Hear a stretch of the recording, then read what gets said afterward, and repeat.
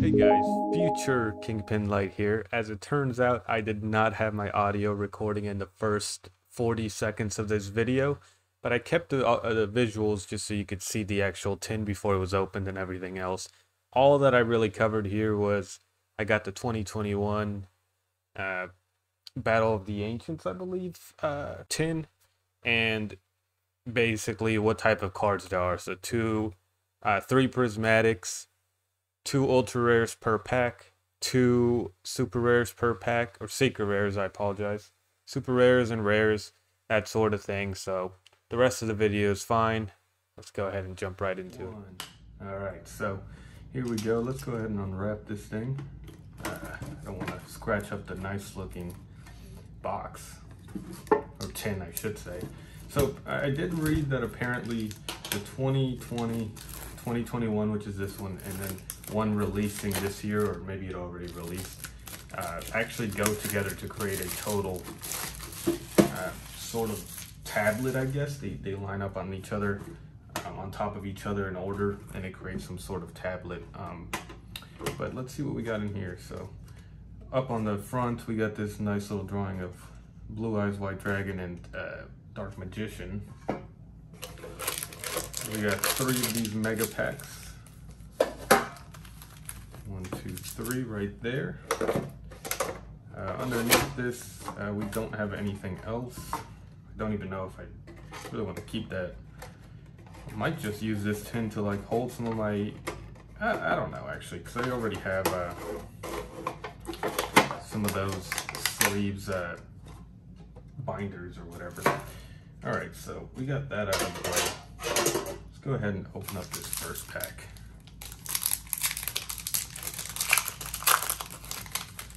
All right. Oh man, I need some more practice reopening these packs, but let's go ahead and see what we got here. So, and let me just make sure it's capturing correctly. All right, so we got Indulge Dark Lord, Rain Bozu, pendulum. I don't know too much about pendulums up at this point. I know how they work, the mechanics of it, but I actually haven't played a game with a pendulum deck yet. Um, and most of the games that I play haven't been in person. I've played uh, all the Yu-Gi-Oh! like video games, Duel Links, uh, uh, what is that, Legend of the Duelist, that, those sort of things. So I just haven't gotten an opportunity to play with these yet. Gouki Iron Claw, Gusari at Ign Ignister? Ignister? Is that an at sign? What is, what is that? Rikka Queen Strenna, Um, XYZs. I was around for those, so I, I, do know how to play with them pretty well. Soldier Gaia the Fierce Knight. So I love seeing these sort of cards that get used a lot. Gaia the Fierce Knight, uh, Dark Magician, Blue Eyes, like these classic cards that just keep getting re-releases of new versions of them it's kind of cool. It's like watching anime where they just, you know what I mean? They always have a new form, like Dragon Ball Z. Uh, Shiny Black Sea Squatter. So right here we got uh, a super rare. And it is a vanilla monster, so I'd have to see what, uh, is this one of those, uh, I'd have to see what archetype this is supposed to fall under. I'm sure there's some support for it. Infernoble Arms Durendal. And uh, that looks like a super rare. Oh, and here's a prismatic, uh, prismatic rare right here, the Shadows Schism. That actually looks really nice. Uh, let me see if I can capture this on camera.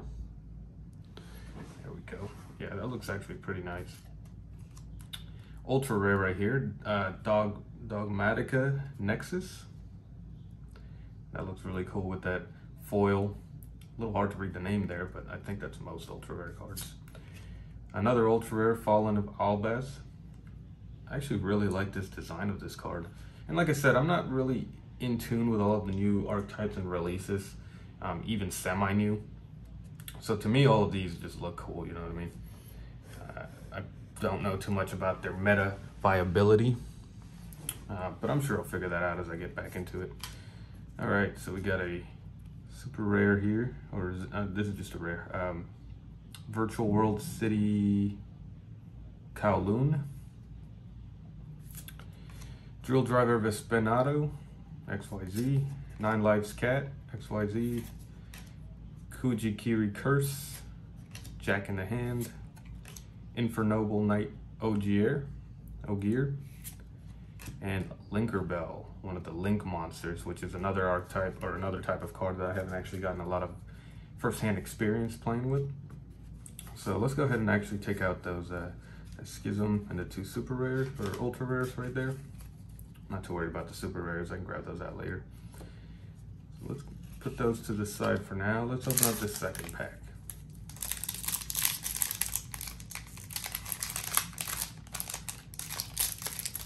Oh no, I broke it.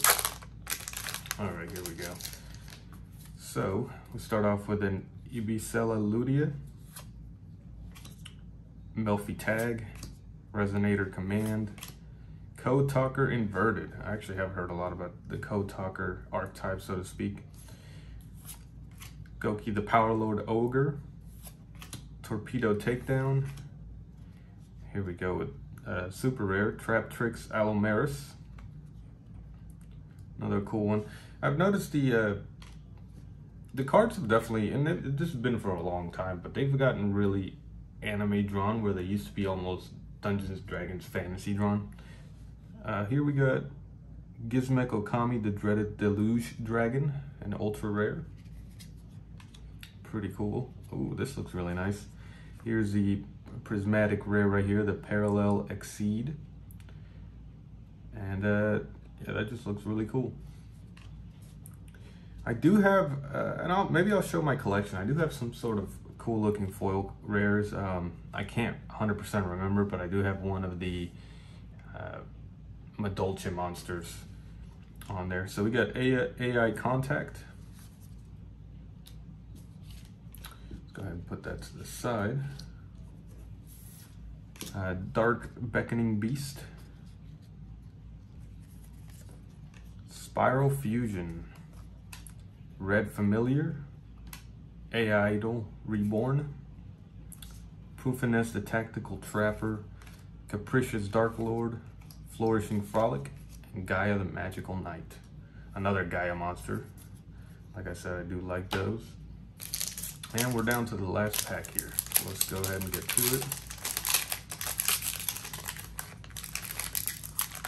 once again, show my inability to open these packs gracefully. That's okay. All right, so we got Melffy Mommy. That is an odd archetype. But then again, I played Madolche monsters for the longest time, and those are not very menacing either, so I can't really speak. Uh, Proxy F Magician. Is that part of the Dark Magician uh, archetype, or just general Magician? Cybers.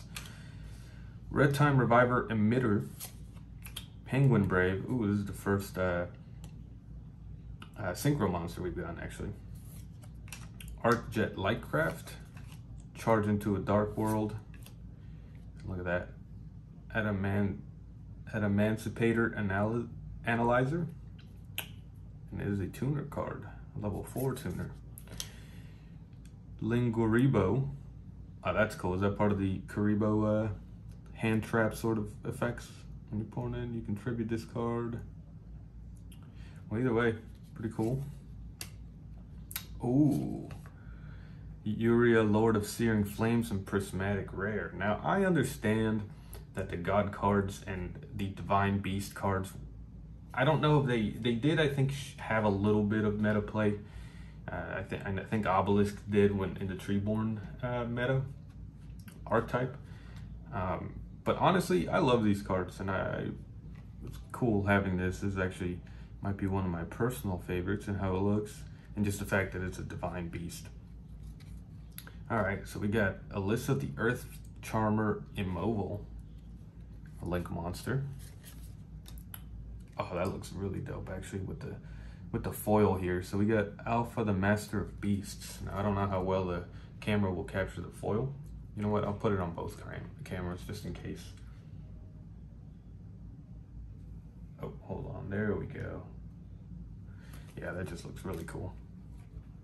Uh, I'm put that to the side as well. So we got Virtual World Gate Church, that is not Church. That is Chuche.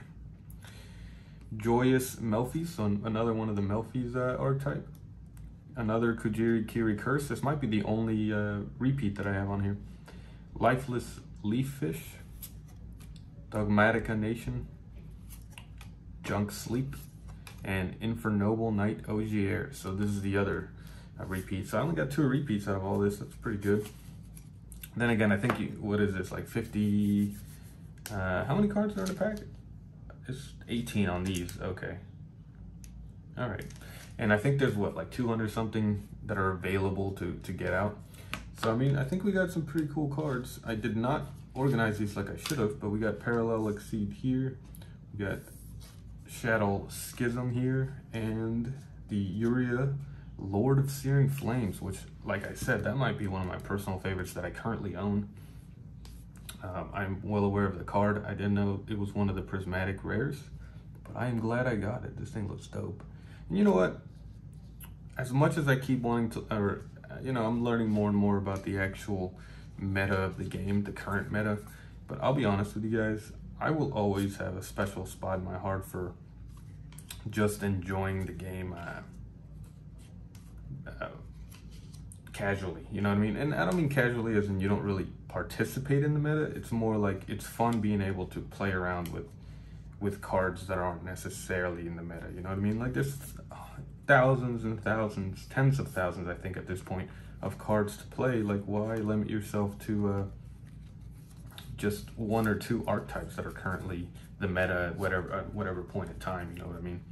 And that's what I like about it is being able to sort of play like that, just where you can play whatever cards that you get.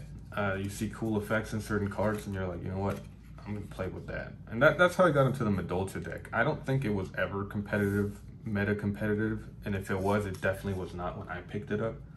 Um, but I honestly did not care. It was one of the funnest decks that I had playing, to be honest with you. And if I recall correctly, it's been years since I played with them their effect was like sending everything back to the hand, right? Anything that went to the graveyard went back to your deck or hand. Um, if I recall correctly, I never actually aimed to get, um, what do you call it? I never aimed to get like a deck out or anything like that. That would be too insane. But it did happen a couple times playing with my friends because they would, uh, one of them built, yeah, I think Dueling Network he built himself a burn deck, right? And it just was not working. So he did, I think, end up getting decked out, which was hilarious. So yeah, guys, this is my polls on here. I think it's a pretty good uh, poll. But you guys let me know. I'm sure if you guys are watching this, you know a lot more about the current meta and what people are looking for. And uh, so, you know, I'll, I will figure it out as I continue to explore the new cards coming out. And I'm doing the, the full series of every card that's come out. I may start skipping around because there's 120 just in the first TCG set. And there's not a lot of fun cards to talk about on that one, right? There's a lot of staples, a lot of uh, really well known, recognized cards, but nothing particularly uh, fun to describe and talk about strategies. It's sort of here's another normal monster, right? With 1,000 attack and 2,000 defense or something, something like that. So, anyway, guys, I appreciate you watching and. Uh, I'll see next time that I do one of these. Maybe I'll just grab a lot more than just these three packs and make it, make it a little bit longer than normal. So you guys take care. Catch you on the next one.